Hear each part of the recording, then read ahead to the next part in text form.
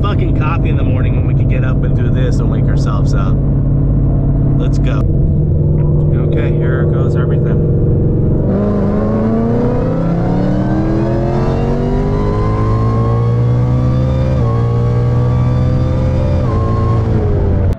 What is up you guys? Welcome back to the channel. Hopefully each and every one of you guys are having a great and amazing day.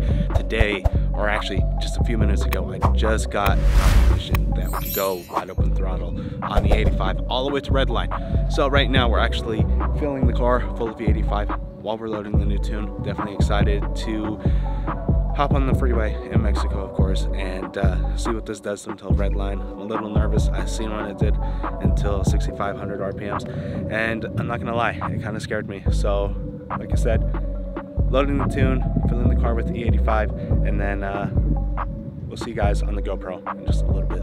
All right, so we got the tune loaded. Let's go ahead and start this thing up.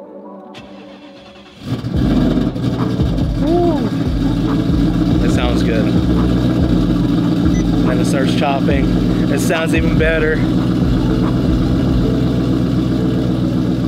I'm in love with this thing. I'm glad I kept it. I'm gonna leave it warm up for a few minutes and then we'll hit the road.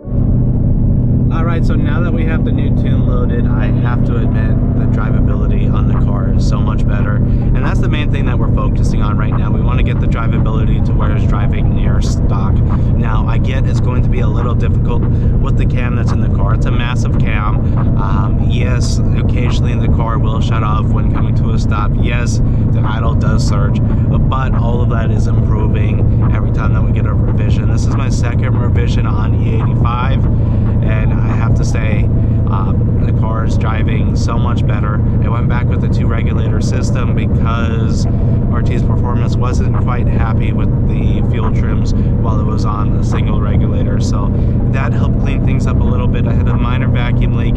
I went ahead and fixed that and uh, now we're just trying to finish dialing it in. Once we get the car to the point where we feel like it's ready to get on the dyno, we'll get on the dyno. Right now we're cleared to go wide open throttle until uh, red line. So uh, with that being said, we're gonna do so and hopefully he gives us the clear to get on the dyno and uh, we'll get you some numbers and we'll finish dialing in the car. Um, with that being said, in the previous video, we were only able to go up to 6,500 RPMs. I'm definitely nervous to go all the way to the end. Um, it's been a while and I don't know what to expect. This car is making a lot more power than what it did, even though if it's only on its base tune. Um, the car is making right around 17 to 18 pounds of boost. Uh, before, I believe it was only making like 13 on the 2.7 pulley, um, and now we have those cams in there and the heads and uh, a ported lower blower, which means even less restriction, so more power. Uh, this it's going to be insane. Um, you guys will be able to see my reaction in just a little bit here. I'm definitely excited to share that with you guys. Uh, definitely excited to get this car dialed in and get some races under my belt, get on the track, set the quarter mile record. And from there, I guess we'll decide to see if we're going to stay with the Roush blower or move on to a different platform. Uh, not a different car, but we might go over to turbos, we might go over to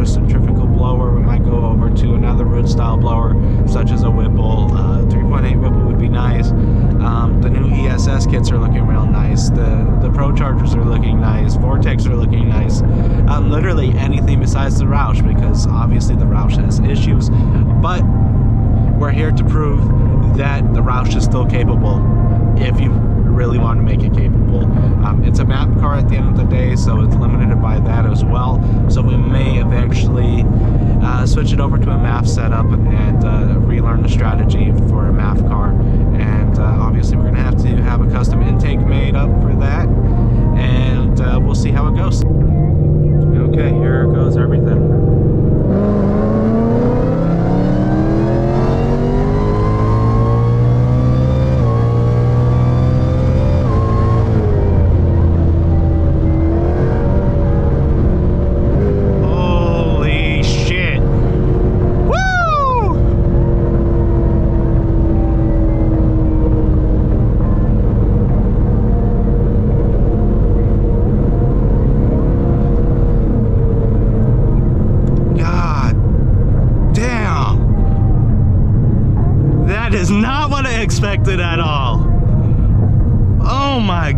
God. Well, guys, I got a, a little mark on my forehead from the GoPro. But from that reaction alone, I'm sure you guys already know that uh, I'm very, very impressed. This car is pretty much on a base tune still. He just added a little bit of fuel to the top end. And this car, holy shit. We got a new competitor, guys. Calling it now. This is going eight seconds for sure. No doubt. We are breaking the record. I am 100% content with this car.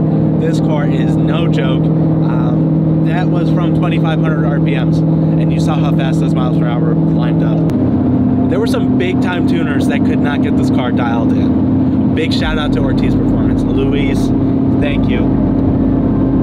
You have made me happy. You have made me beyond happy. Like, I owe you. So definitely go check him out. Um, he's doing big things in the NA world right now. He's doing big things in the boosted world right now. He is going places, guys. He, I'm telling you guys, he is taking over the Mustang world, uh, and he's doing it fast. These bigger shops such as Lund, Palm Beach, etc., they don't give you the time and effort like a smaller shop will. And uh, Ortiz is getting pretty big, I'm not gonna lie. But at the end of the day, the customer service has always been there. He's always helping me trying to diagnose an issue when I have an issue. Um, he's come clutch so many times. And uh, today I have to say, he's made me proud. He's put my car in a position where it's the fastest it's ever been and it's pretty much still on a base tune. That says a lot. Just finishing up at Les Schwab Tire right now. So I just heard back from Ortiz Performance today, and uh, we got good news. We are cleared to get on the dyno. The car is looking good. Fuel trims are much, much better than what they used to be.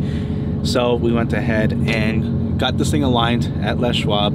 Uh, the spec was way off. Obviously, we dropped the engine. We did work to the rear end, so I knew the alignment was off. It was actually pulling. Steering wheel wasn't straight, so it was annoying more than anything. Anytime I'd make a left turn or something, the signal light would not go off. Um, yes, I use my signal lights, one of very few.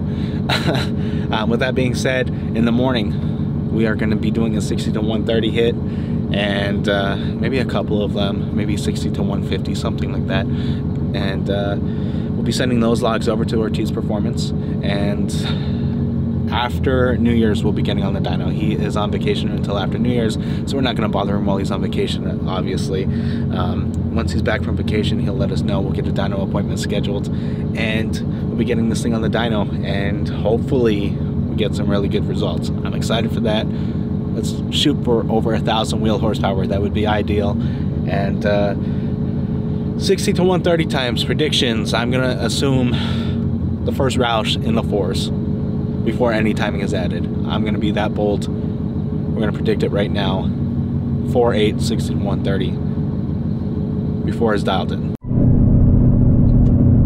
It's a little foggy out here in Mexico this morning, but we're out here this morning to test our 60 to 130 times. As you see, we do have the Dragy mounted on the dashboard right now. Um, hopefully the fog clears up just a little because it is a little sketchy. Um, either way, we're going to be testing out the 60 to 130. Um, if we can get it to hook. It's a little cold outside. It's about 40 degrees. Um, so I'm a little skeptical if it's going to hook. If not, we're just going to head right on back and try this another time. Let's see if she hooks.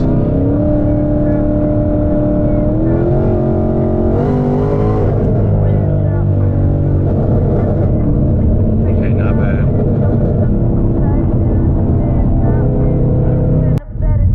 Okay, so we just warmed up the tires a little bit, hopefully. Hopefully that was enough.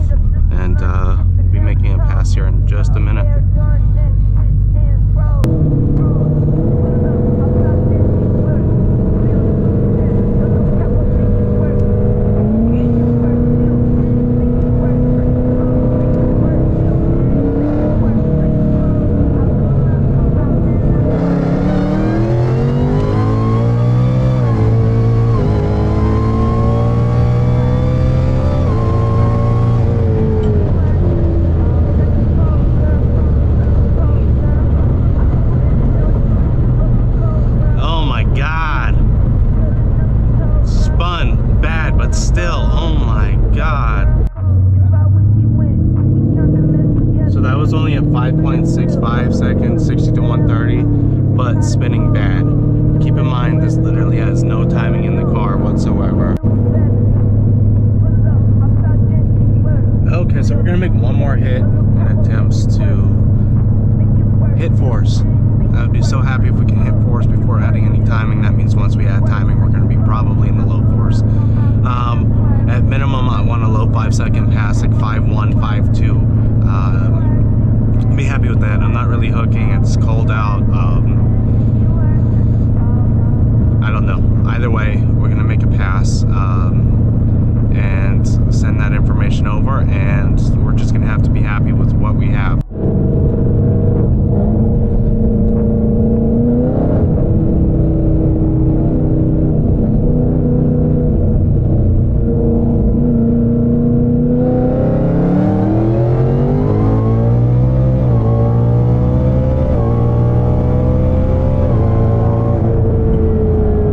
Oh my god!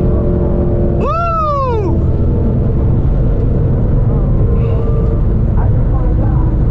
That had to be it.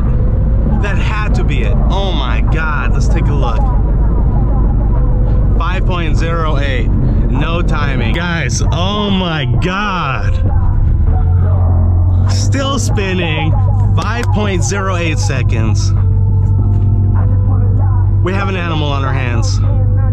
Jesus. From my reaction right there, you guys know how excited I am. I'm like literally fucking shaking. I stayed in it, even though we spun, the back end still kicked out. Um, I will put a screenshot of that pass right here. Um, I'm waiting on a phone mount, so because my other one just disintegrated um, during a pull before my car blew. So I'm waiting on another phone mount so we can mount my phone to the dash. Um, no, it's not a fluke. You guys saw it.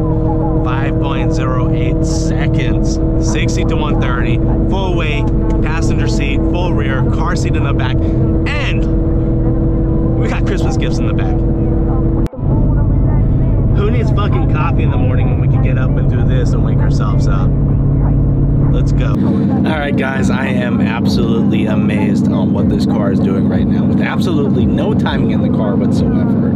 It's literally a base tune on E85 and it ran a 5.08 second, 60 to 130. I was debating going to 150, checking the 100 to 150 mile per hour times, but it was a little sketchy, so I just let out. Um, I was spinning through pretty much the whole pass. So I know it has fours in it for sure with better weather conditions. It is a little foggy out as mentioned. So um, I'm sure the ground's a little wet so it contributed to spinning just a little maybe. Um, either that or we're just overpowering the road and um, tire pressure set to 16 PSI. So we should be hooking, but we're not. With that being said, guys, enjoy your holidays. With your family. Stay safe. Merry Christmas. Happy New Year's. This is probably the last video that you're going to see until after New Year's, until we get on the dyno, most likely, unless something else comes up. With that being said, guys, hopefully you enjoyed today's video. If you have, go ahead, smash that thumbs up button. Drop a comment in the comment section below. Let me know what you want to see next. It's almost that time. Almost time for racing. That being said, guys, if you haven't subscribed to the channel yet, what are you waiting for? You already know there's going to be some bangers coming. You already know this is the fastest Roush in the world. Smash that subscribe button. Do me a big favor. It does help the channel tremendously moving forward. Help me grow to provide you guys content. With that being said, guys, I will catch you guys in the next one. Until next time, I'm out.